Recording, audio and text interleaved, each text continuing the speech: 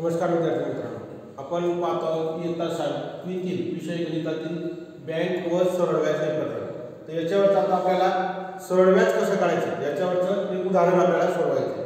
उदाहरण दिले द सहा द सी म्हणजे दर साल दर शेकडा दहा दराने सहा हजार रुपयांचे एका वर्षाचे व्याज किती होईल? मग आता आपल्याला व्याज काढायचं आहे. तर व्याज काढण्याच्या आपल्याला सरळ व्याज काढण्याचं सूत्र माहिती पाहिजे. मग ते सूत्र आपण आपल्याला माहिती. त्याच्या अगोदर आपल्याला या ठिकाणी काय काय किमती कोणत्या कोणत्या दिल्या आहेत त्या आपण किमती लिहून घ्यायच्या आता मुद्दल मुद्दल किती दिलेली आपल्याला इथं? ती लिहायची मुद्दल बरोबर सहा हजार रुपये. त्यानंतर दर दर किती दिला आहे? दहा. आणि क म्हणजे काळ. किती दिलेली क. म्हणजे मुदत. ती किती दिलेली आपल्याला? एक वर्ष. एक वर्ष. आणि काय काय सांगितलंय सरळ.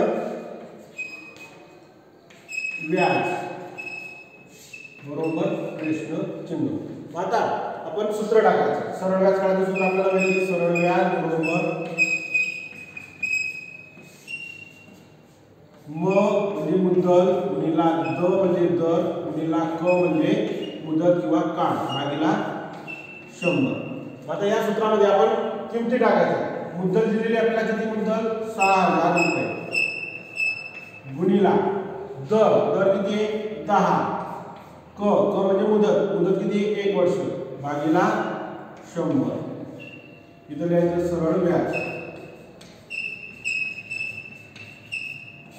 मग आता या सूत्रामध्ये किती टाकल्या तर आपण सोडवायचं.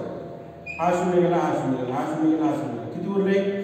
सात गुणिला दहा गुणिला एक. यांचा गुणाकार करायचा एकाने दहाला उरलं दहा. दहा आणि साठला उरलं. किती? सहाशे. म्हणजे किती आलं बघ व्याज? सरळ व्याज बरोबर.